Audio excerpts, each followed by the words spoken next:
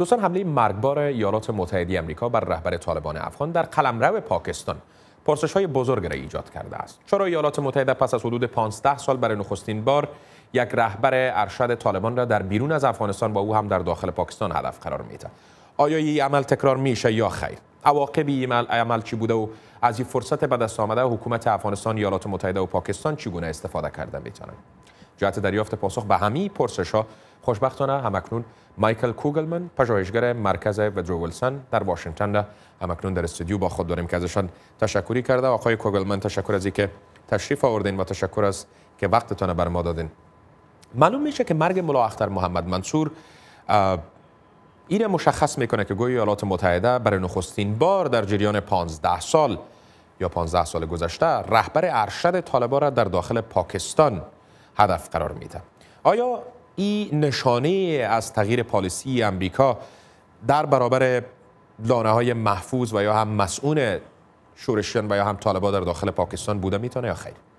Uh, بله غیر معمول است که ایالات متحده یک هدف را در اراضی پاکستان مورد هدف قرار بده که تحت تهدید توسط پاکستان تلقی نمیشه بلکه یک سرمایه است برای پاکستان مثل مولا منصور برای طالبان دقیقا یک تغییری را در پالیسی امریکا نشان میده که امریکا صبرش لبریز شده با پاکستان و باور نمی‌کنه که پاکستان علیه این شورشیان در خاک خود وارد عمل شود و ایالات متحده صبرش لبریز شده با پاکستان.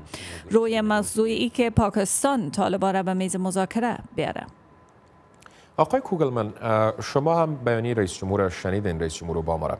آقای اوباما در بیانیهش گفت که مولا منصور رهبر گروه و یا هم سازمانی بود که نیروهای آمریکایی و ائتلاف را به صورت دوامدار هدف قرار می‌داد و برای مردم افغانستان یا بالای مردم افغانستان جنگ را تحمیل کرده و با القاعده هم همتراس و یا هم همترس شده بود.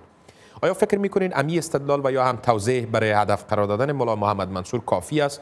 و اگر بله آیا فکر می‌کنین با امی استدلال در آینده هم رهبرا و یا هم فرماندهان طالبان گویا ایالات متحده در بیرون از افغانستان هدف قرار بده یا خیر؟ بله. یک موضوع بسیار منطقی است که روی از تاکید کنیم باید جالب است که سال گذشته حکومت ایالات متحده موضوعات متفاوت را در مورد مولا منصور می گفت. او را من حیث یک رهبر میانه رو اعتدالگرا که حامی مذاکرات صلح است تشریح می‌داد ولی حال موضع متفاوت شده. این بحث ما می‌تونیم در بخش رهبران دیگه هم مانند رهبران شبکه اقانی هم صدق کنه ایالات متحده اقانی را یک تهدید عمده علیه اساکر خود در افغانستان تلقی می‌کنه و شاید ایالات متحده ممکن شبکه حقانی را هم در پاکستان هدف قرار بده. تشکر.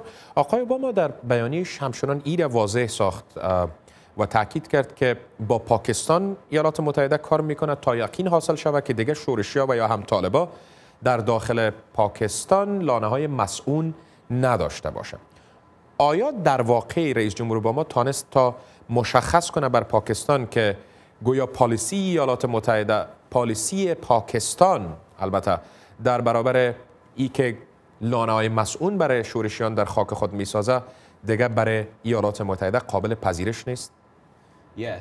بله فکر می کنم که حکومت ایالات متحده به پاکستان نظر داده بود که وارد عمل خواهد شد. در این مورد. ولی هنوز بسیار زود است که ما پیش بینی کنیم که آیا هدف قرار دادن مولا منصور روی یک تحول را در قبال هدف قرار دادن رهبران طالبان توسط ایالات باعث خواهد شد یا خیر. ولی نوع هشداری با پاکستان بود و اینکه پاکستان با این کارها را خودش انجام بده. ولی من فکر می کنم که پاکستان پالیسی خود را تغییر نخواهد داد و ایالات متحده باید پاکستان و پاکستان هشدار بده که در این رابطه فعالیت های زیادتر انجام خواهد داد.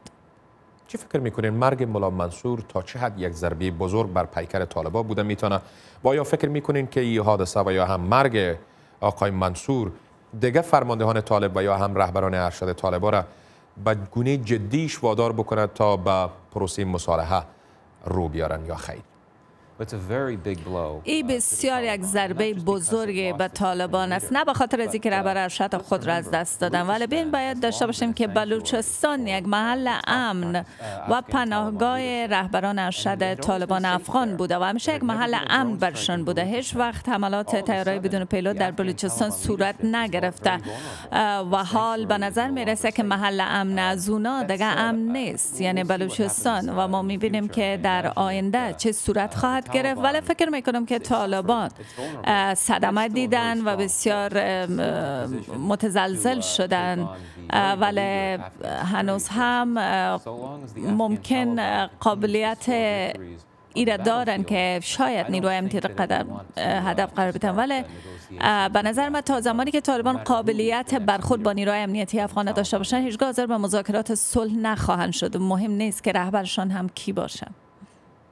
آیا می‌دانیم و یا هم به وقت است که این مشخص کنیم که جانشین مولا محمد منصور کی بوده می‌تونه؟ و آیا فکر می‌کنید که حکومت افغانستان متحدین حکومت افغانستان تلاش ها را به خاطر حمایت از یک انشاب یا شاخی جدا شده طالبان هم افزایش بده و یا هم ایجاد بکنه یا خیر؟